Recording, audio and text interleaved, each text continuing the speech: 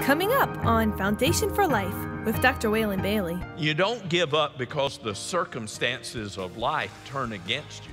And you don't give up because there are persecutions. And you don't give up because of those who speak falsehood and live according to the ways of man, but not according to the ways of God. You redouble your efforts. You keep on doing that which you've been called to do. You remain faithful in service for God.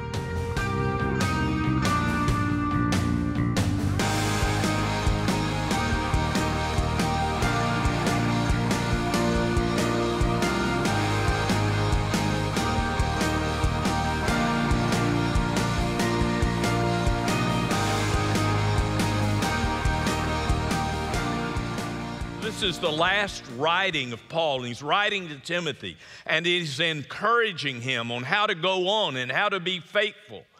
And you and I need, we need to know how to live faithfully. We need to know what to do in the midst of persecution.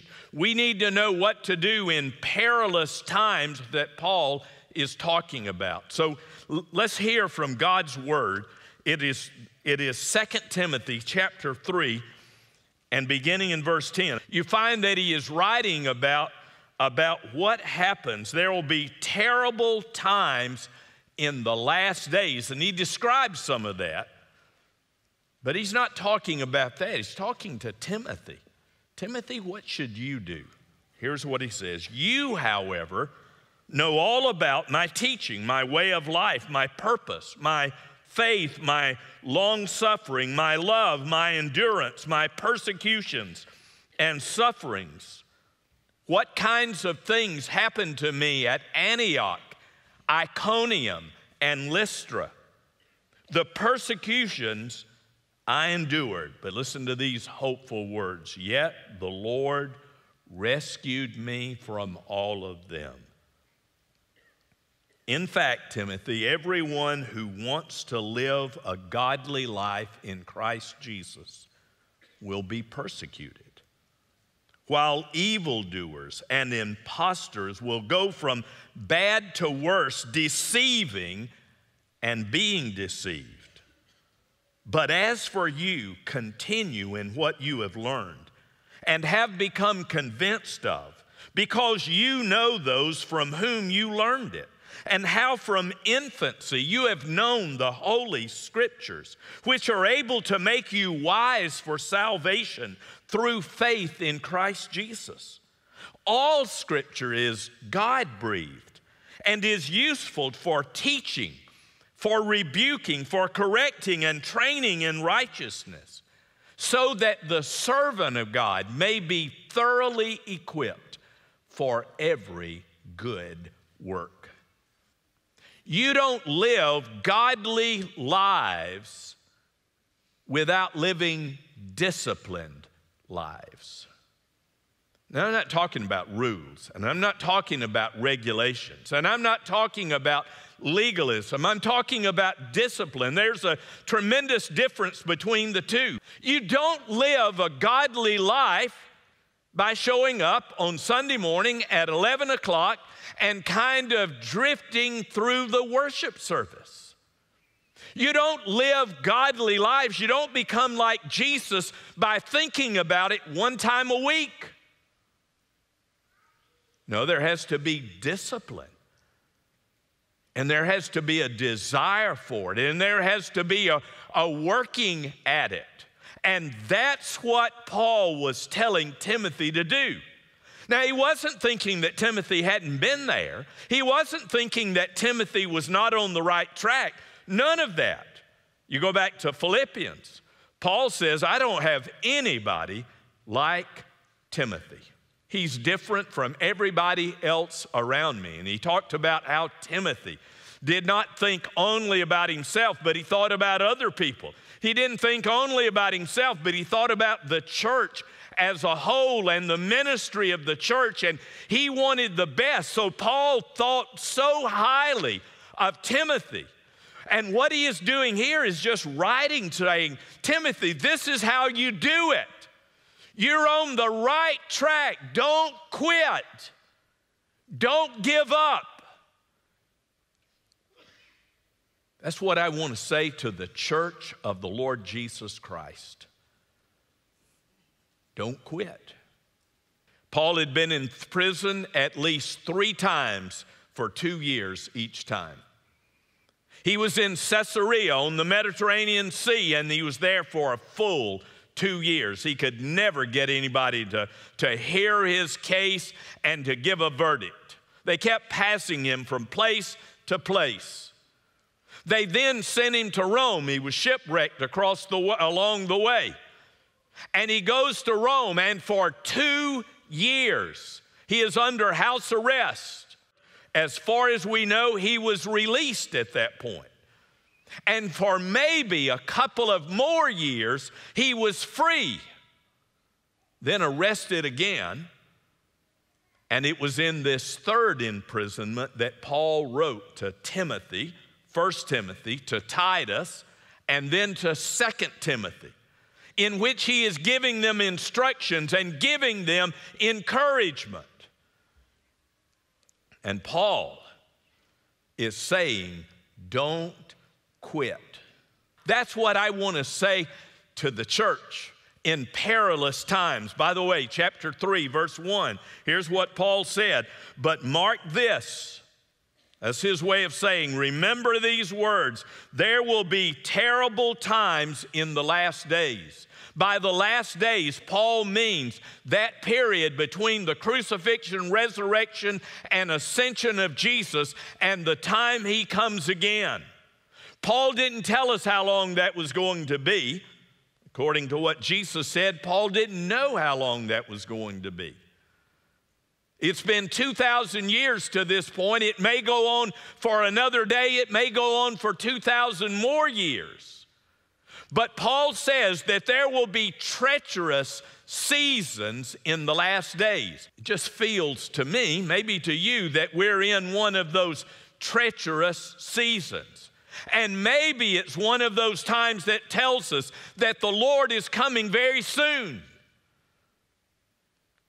But what Paul wanted them to know is, is that you don't give up because it's a treacherous time.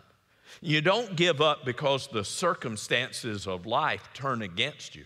And you don't give up because there are persecutions. And you don't give up because of those who speak falsehood and live according to the ways of man, but not according to the ways of God. You don't give up then. No, you do what Paul said. You redouble your efforts. You keep on doing that which you've been called to do. You remain faithful in service for God. So I see four things here. I hope that you will follow along. The first one is this He is telling Timothy to follow the good examples he's had in the past. Now we know that Timothy uh, was raised by a mother and a grandmother who were godly examples. We, we even know their names. Eunice and Lois, his mother and his grandmother, who read him Holy Scripture and from whom he heard about God. And when Paul came along in the first missionary journey, about AD 48, Timothy was a young man and was saved on that first missionary journey. Then Paul went back to Antioch of Syria where he'd come from, and he stayed about a year. He went down to Jerusalem. There was the Jerusalem Council. He took a second missionary journey, and he went back to Central Asia Minor, the middle of Turkey, where Antioch and Iconium and Lystra were. And Timothy now is a young man, and Paul invites him to come with Silas and to be a part of the missionary journey. And from that point on, Timothy was with Paul again and again, faithfully serving with Paul in doing the work of ministry. So Paul said, You've had good examples. Your mother, your grandmother. But Paul gives himself as an example. Look at, look at verse 10. You know all about my teaching, my doctrine, my way of life, my pattern of living my purpose to preach the gospel, to take it to the Gentiles, my faith, my long suffering, my love, my endurance, my persecution and sufferings. And Paul makes a reference to the first missionary journey, Acts 13 and 14, where he says, You know what happened to me in Antioch, you know what happened to me in Iconium. You know what happened to me in Lystra. Lystra was Timothy's hometown. You know what I endured. Let those be your example. Isn't it amazing how often we are afraid to be an example? Paul was a humble man, but he also knew that God had called him for a purpose. You and I need to be people who can tell our children, our grandchildren, our friends, our neighbors, let me teach you how to pray. Let me show you living that pleases God. Nobody's saying I got everything perfect, I've got it all figured out, and I know everything. Paul says, Not that I've obtained, when he wrote to the church Philippi, not that I've obtained everything, but he gets to the end, the next chapter in Timothy, Paul says, I've fought the good fight, I've finished the course, I've kept the faith. Therefore, there's laid up for me a crown of righteousness, which the Lord, the righteous judge, will give to me in that day and to all who love his appearing. We need to be determined that, that as best we can, we're going to learn all that we can of God. We're going to learn about prayer, and we're going to learn about Scripture, and we're going to learn about righteousness and justice and godly living, and we're going to be an example for other people because that example is something you can't get anywhere else. And it's something that it gives you things that you can't find anywhere else. I, I had almost no examples. When God called me to preach, I had no examples except the guy who was in the pulpit preaching, which was a great example for me, but I had no others. There's nobody in my church who served the church. There's nobody in my church who, who had ever done anything like this before. I had no example. My mom and dad basically hadn't seen much of it either, and they, they couldn't tell me much about it. Uh, my mom did give me a few things to say. She said, Short sermons are better than long sermons. She said a few other things that just don't fit today, but they're great things that she gave to me and, and meaningful things that she gave to me. But I had no example. And then I went to Samford University, a Baptist school in Birmingham. And my first day there, I walked into a classroom on the Bible, and a man by the name of Sigurd Bryan was there, since passed away. He was a man of such humble faith, and he knew the Bible. He, he had a degree in Old Testament. He knew the Bible, and I, I could not get enough of what he had to give and could not get enough of the Scripture. And I left there and I went to New Orleans Seminary and I met an Old Testament professor by the name of Olin Strange, who wound up being my friend. We used to commute back and forth to the seminary, and he, he had been in World War II, so he was old enough to almost to be my grandfather. And, uh, but what a great man he was, and he, he was a humble man who knew the scripture, and those two became my examples. We all need those godly examples. They were my examples. And they have blessed me. Both are, have, have died a long time ago, and they have blessed me with what they gave. Paul says, follow, find godly examples, and be like them. Be like Christ. Do the things of God. Live godly lives. A second thing that we need to do is we must, we must seek the truth and we must live the truth. Notice, notice what Paul says here, and all of this comes right out of Scripture. I want you to see it. But as for you, verse 14, he is talking about what has happened. But Timothy, as for you, verse 14, continue in what you have learned from Scripture in faith. Keep on with what you have learned. Don't get to the point in life where you say, Well, you know, I, have done enough. Time for me to quit. There, there's no quit in the Bible. There's no end of the time. You get 65, you, you stop doing the work of ministry. No, we, we give it, we make it lifetime, we make it lifelong. That as long as God gives us breath, we seek to serve Him. So continue in what you've learned. Paul could have said, comes pretty clear what he meant. Paul could have said, I'm not going to be here, Timothy. You keep on, you keep doing. Continue in what you've learned. Continue in what you've become convinced of. Continue with the truth and seek truth. We live Think about this. We live in a world that is full of knowledge. And it's right here in your, on your fingertips.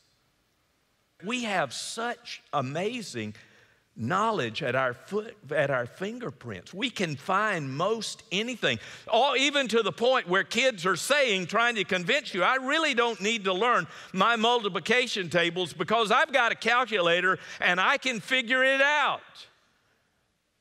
We have the knowledge but we are desperate for the truth. And we don't have the truth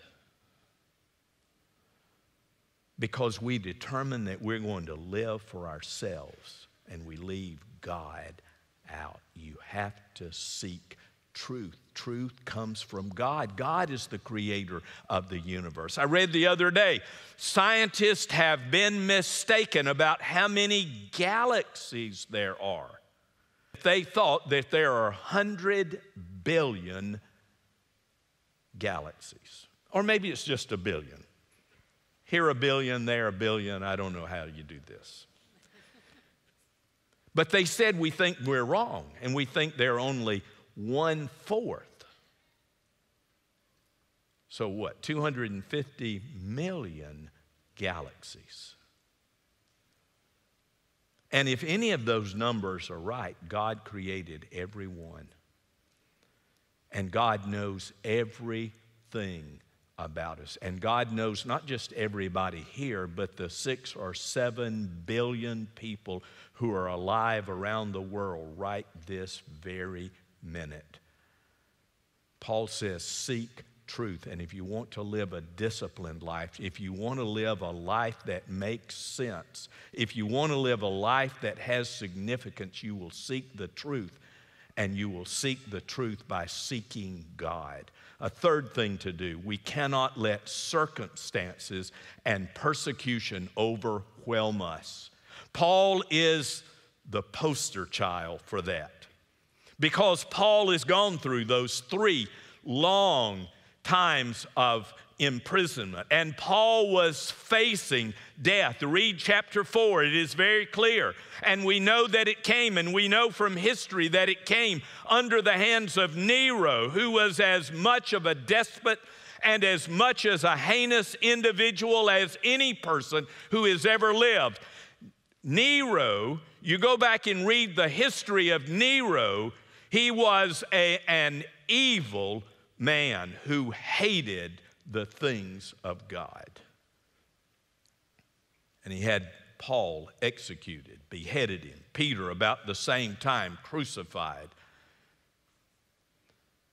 Paul says, Don't let the circumstances and the persecutions get you down. Don't let them overwhelm you. And you and I both know that it is easy to let the things that happen in life and easy to let the persecutions and easy to let the things that people say and easy to let the, the things that people publish to overwhelm us. But that's what Paul is saying.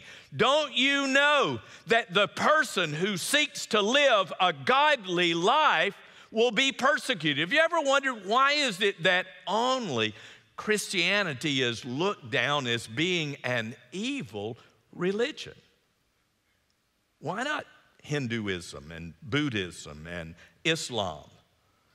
That evil hates the light loves the darkness and hates the light. Don't let circumstances and don't let persecutions get you down. In this world, Jesus said, You will have tribulation, but, but be happy, be of good cheer. I've overcome the world. Paul says, We know that all those who want to live a godly life in Christ Jesus will be persecuted. Don't let them get you down. I got two truths for you. Number one is on your sermon sheet it is too soon to quit. So don't quit, it's too soon to quit. And this whole book is about it's too soon to quit. Don't give up, don't quit. I always want to talk to teenagers, young men and young women. Don't quit. Don't let the world get you down. Don't let the circumstances get you down. Be determined. Be sure I will live for God. If no one lives for God, I will live for God. It's too soon to quit. The second truth is this it's always too soon to give up on God. Don't give up on God.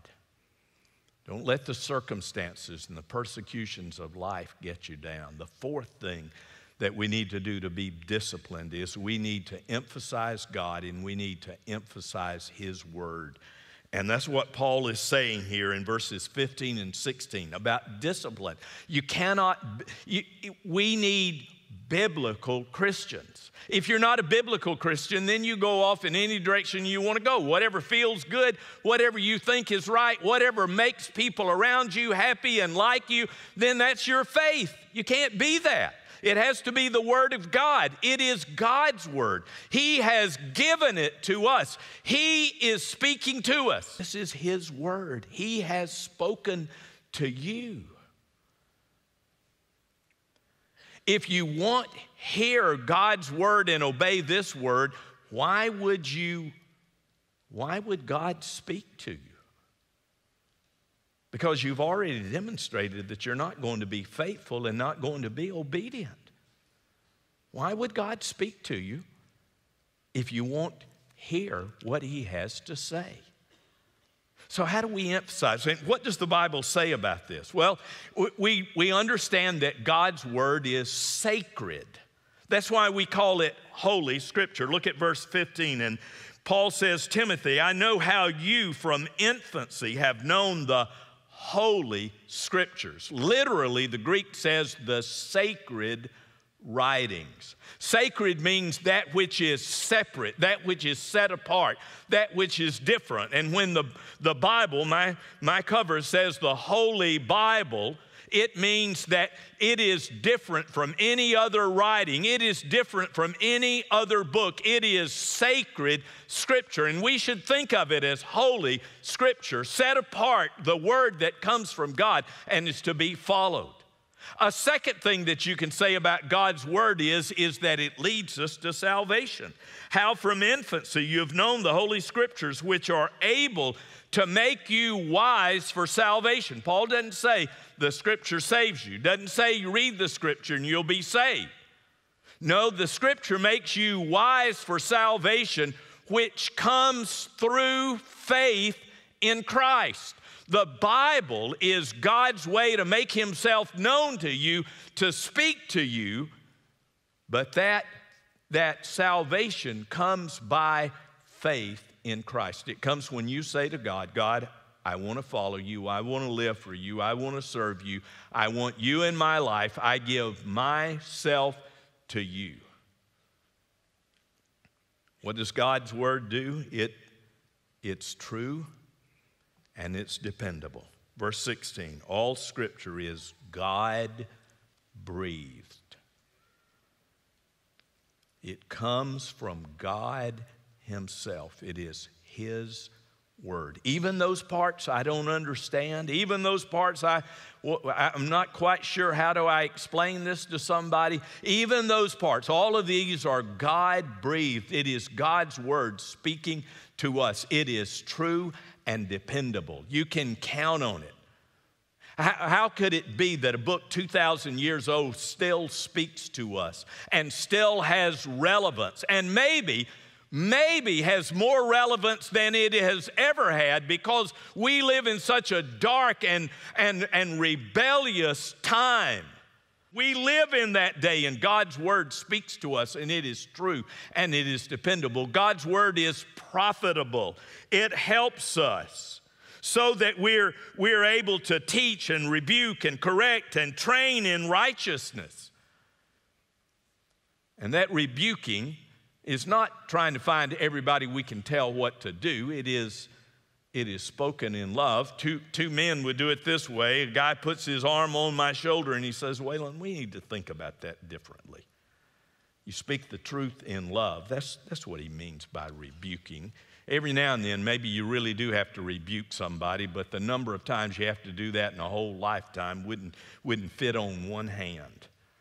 No, we, we speak the truth in love, and we, we speak like a pastor to his people of, of this is what God wants us to know, and we, we need to live that life. It's profitable. It equips us for service so that the servant of God may be thoroughly equipped for every good work. Timothy, that's you. Do it, man. It's what God has called you to do. Be faithful. And God's word is to help us live. Because life will be hard, there will be circumstances, there will be persecutions, but God's word will help you. It will give you guidance. It will give you encouragement. It will give you a sense of peace and joy because it comes from God, because God breathes through it and gives it to us. Don't quit. Don't give up. But be faithful by living a life of service and devotion unto God. Live on the North Shore or planning to visit? Join us here at First Baptist Church Covington for one of our three weekend services. Come be encouraged by Dr. Bailey every Saturday evening at 6 or Sunday mornings at 9:30 or 11 a.m. For more information and directions to our church, visit fbccov.org. First Baptist Church Covington. Experience life changing relationships. Be sure to tune in again next week for Foundation for Life.